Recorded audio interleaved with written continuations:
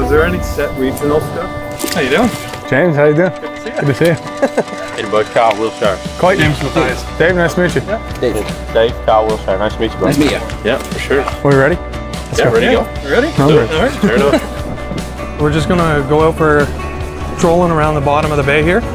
Uh, we're gonna go multi-species fishing today, so it'll be pike, walleye, sheephead, bass, any kind of panfish as well.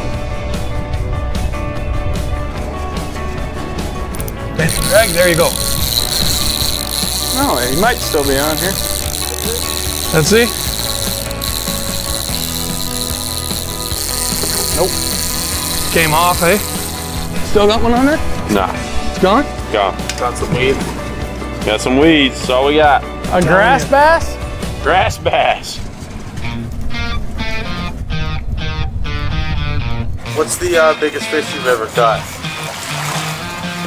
Biggest fish I ever caught. Uh, would be a 47 pound paddlefish. It's a prehistoric fish. You actually have to snag it out in North Dakota and uh, the confluence in the Missouri. I like catching largemouth bass, to be honest with you. Yeah. That's just, ever since I moved to Florida, man, I'd always fish them in Kentucky and caught some good four or five pounders in Kentucky. When you go to Florida, it's a whole different game. I mean, you catch eight, nine pounder off of top water at, when it's just like glass, that to me is a thrill. That's like, that gets me going.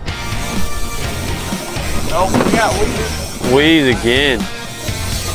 Catch of the day, a lettuce wedge.